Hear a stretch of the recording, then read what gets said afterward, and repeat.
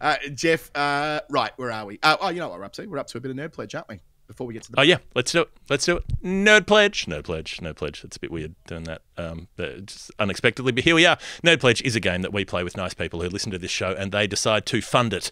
They bankroll this entire enterprise, um, and they do it by sending in very specific amounts of currency in numbers that relate to cricket in some way, and we have to work out what the number means. Got a double header today because David Smith sent a clue, and as far as I can tell, Patrick Hargreaves did not but they sent the same number. David Smith sent $3.45 in Australian dollars. Patrick Hargreaves sent it in British pounds, but I know that Patrick Hargreaves is Australian because we've met at some point and used to pledge in Australian dollars. So maybe it's still an Australian number. Thus, I thought double header could be the same answer. David Smith uh, has left a clue. You can tell me what it is. He has.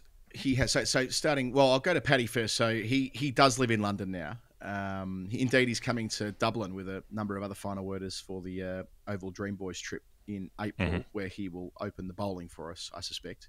Um, so that that that is likely to account for his change in currency that he'll be earning sterling rather than AUD now. So uh, that'll solve that. As for David, equals a match tally that was a first from one of my all-time favorite bats. One of my all-time favorite bats. Okay, double header. I like these, Jeff. I'm curious to see where you've gone with it. So 345 tally in a match. I figure we're looking for a double century and a single century in a test match, um, which is interesting because we were just talking to Glenn Turner about playing the test when Lawrence Rowe did exactly that on debut, made a double and then 100 in the second innings. Uh, Lawrence Rowe is one of eight who've done it. Um, maybe maybe I should pop quiz you. Do you reckon you can? You, do you reckon you could conjure a couple of the others who've made a 200 and 100? A few. Well, Gooch. Yep. Uh, Gooch did it. Um, Yep. Taylor didn't, did he? Because he was 334. Then he No. was 90 something at the end. Uh, uh, Doug Walters did it. Double hundred and and 100 in the same match. Um, that was at the SCG, I think. Mhm. And 200 and a 100 in the same game. I feel like There's another triple as well. triple Yeah, 100 in the Sangakkara same did the triple and the and the one. Not, not Sangakkara did a triple and the hundred. Uh, yeah, as you go through it, some more will tweak. I've done okay there. Named three or four Yeah. for you to get you going. You've done that. That that's that's good. I, I figured you'd know the, the triples anyway. Um, so Gooch and Sangakkara, the six others, Lawrence Rowe, and th- th- this is quite interesting, right? So Lawrence Rowe does it in a match against Glenn Turner in 1972. Greg Chappell does it in a match against Glenn Turner in 1974. Um, so this is something that's happened eight times in tests, and two of them were against Glenn Turner Oh, yeah. in the space of two years. Um, that's the Auckland game. Oh, yeah. So that- that was no, the- it's the Wellington when- game. That's right. So both Chappells make hundreds in both innings, but Greg's in the first is a double. Uh, make it a double. Uh, and Hmm. Make it a um, double. and Chappelli w- w- more conventional, um, Mm-hmm. hundreds of the single variety. But yeah, between them, they raise the bat lots at the basin. Yeah, so that's that's just before the Christchurch game where New Zealand win, that they had the 50th anniversary celebration. Um, so there's a lot of Glenn Turner adjacent stuff here. Um, Brian Lara does it in uh, Colombo, starring Peter Falk in 2001, um, where Lara was player of the series in a whitewash, which I think, as far as I could tell, is a feat that has only been matched by Matt Henry last week um, in the 2 0 defeat to Australia. So I've, they're, they're the only two that I've been able to find. Marnus Labuschagne did it in Perth against the Windies a couple of summers ago. Sunil Gavaskar the only one who made his double in the second of the two innings in, in the match. Um, there are a couple who got very close to doing the same. Andy Flower had a 199 not out in the second innings after 100 in the first. And Bruce Mitchell, the South African opener post World War II, 189 not out. I did a story time on that, one of the uh, epic, ridiculous test match. So go and check your story times for the uh, the Fl- Andy Flower and Bruce Mitchell ones. But yes, Doug Walters, you mentioned, he's the one whose double and 100 add up to 345 runs. Uh, Kevin, as his first name was, Kevin, Kevin, Kevin Walters, doesn't quite have the same ring.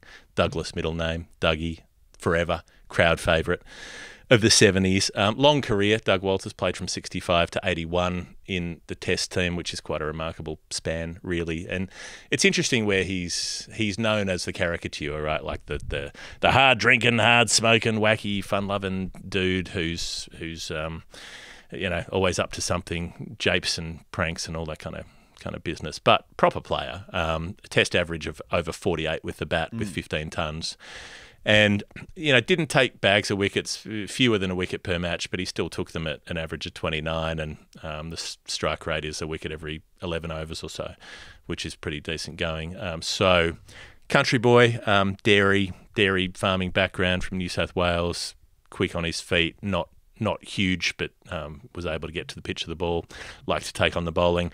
And he's 16 years old when he gets picked for, uh, starts getting picked for like New South Wales country and New South Wales Colts sides. Um, impresses enough doing that that eight days after his 17th birthday, at the end of December 62, he makes his first class debut in a Shield game against Queensland, whose wicketkeeper is Wally Grout. Uh, Tom Veivers is the off spinner. Remember him from our conversations with oh. uh, William McInnes. um, and this this is the season where Wes Hall plays for Queensland. So you know you're 17 and you're playing against Wes Hall. Right. Um, Dougie is carded to come in at seven, uh, so he bowls a couple of overs for nothing much. Gets out for one. New South Wales gets smashed for 82. They follow on, and then he makes 50 in the follow on, second best score for New South Wales of the match. Um, and then his second season, he's still 17 when the season starts. He makes a couple of tons in that season, and his third season early in 1965. Exactly the same match situation as the debut. Queensland make plenty. New South Wales are out for bugger all. Dougie's made two. They're following on, and this time he makes 84. He sets Queensland a lead of 251. New South Wales bowl them out just short, and he's away. Um, he he takes wickets and makes 76 against WA in his next start, and then he plays the MCC for New South Wales and makes a ton, plus some more runs in the second innings. Uh, and so a few days short of his 20th birthday, he makes his Test debut, makes 155, takes a couple of wickets, and and he's away, um, renowned for, for being the player who made centuries in a session multiple times during during his career, and, and I guess the guy who who kept a cool demeanour in Chappelli's team when things could run pretty hot in that outfit. It's kind of interesting. I think of Walters as being of the Chappells generation, right? Like even the story that we were telling before, like he, yeah, he goes all the way to play through until when does Walters finish? He finishes in the early 80s, doesn't he? 81. His final test matches, but it's into the 80s. 81, right? Yeah, 81 in England probably because that's where he had so much trouble over the. No, just before. He, so he gets left out of the yeah. he gets left out of that Ashes squad, and that's when he retires. He plays the home series ah, against yeah. uh, New Zealand that's and right. India, and then um, and does well. Like makes runs in those, right. makes hundred against New Zealand, makes runs in that last series um, against India, but he's not picked on that tour and on that England tour, so he calls it quits.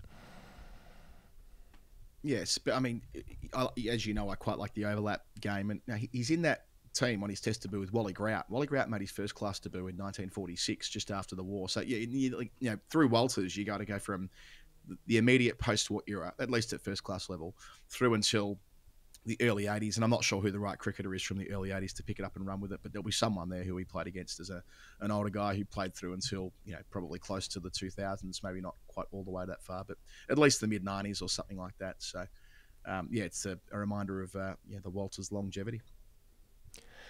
Well, the yeah, the longevity is a big part of it. Um, I guess it's relatively early in his career when he has the 345 game. Um, Australia have bossed the series. It's the fifth test. They're leading 2 1 coming into the last, but I guess that means they could still cough up a, a tied scoreline. Um, it's Wes Hall bowling again. It's actually Wes Hall with Charlie Griffith, Gary Sobers, and Lance Gibbs. And um, uh, people who listen to a lot of the show will have heard us talking about that quartet as being the four that, that Stark, Lyon, Cummins, Hazlewood overtook as being the, the most combined test bowling quartet. Um, but this is 68 69. Wes Hall's kind of at the end of his, his rope, then he's not the same force. Um, but he and Sobers mm. get Stackpole for 20, Chappelli for 1, Ian Redpath for naught, Australia 3 for 51 when Dougie comes in, partnership of 336 with Bill Lawry, um, and by the time Walters is out, he's helped put on 402 since he walked in. Um, he's out for 242 in that first innings.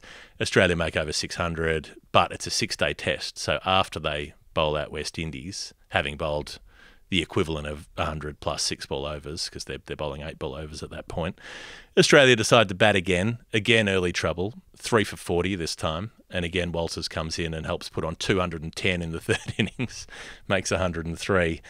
Um, they set the West Indies 735 to win, which uh, even when you've got Sobers, Roy Fredericks, Rohan Kanhai, Basil Butcher, Seymour Nurse, you're not going to run down 735. So Dougie, 699 runs in the series, nearly gets that 700 mark that we were talking about. Jaiswal going past against England in mm. the series just concluded. Uh, four Ashes tours, went to New Zealand twice, toured the West Indies, India, South Africa, played in the Centenary Test, played in World Series cricket, did just about everything you could do across that era, and uh, and still going strong. Great record, uh, 15 Test hundreds, averaged near enough to 49. So you know, um, you look back at um, assembling composite sides of say the 70s, and yeah, Walters would certainly be there. And I'm not sure how many Test wickets, but I feel like it's 50 something. Um, and most of those were known as partnership breakers, and of course all the off-field stuff as well about um, staying up all night and um, having the ability to play off no sleep. And he's not the only player to have that reputation, but um, maybe he did it uh, least affected. others who you know have been uh, having a reputation for being hard drinking, hard smoking, probably had their game affected. It felt like he needed that balance or, or something like that, or at least that's the myth. Anyway, nice uh, nice way to round that one off. Thank you, Jeff. Double header there for Patrick Hargreaves and David Smith. Before we go to the break, Jeff, NordVPN are hanging out with us for a bit longer. Yes, uh, for sports and entertainment. That is probably why you're listening to a show like this. You can safely access your favourite streams and other content from home no matter where you go. So if you have uh, a subscription to something at your home and then you go somewhere else, you can still be at home as far as the internet knows. Uh, easily switch your virtual location to access apps and websites in other countries and get access to social media and other services not available due to censorship. So when the Republicans ban TikTok, you'll be able to put your VPN on and still watch dance videos while having your data stolen by the Chinese government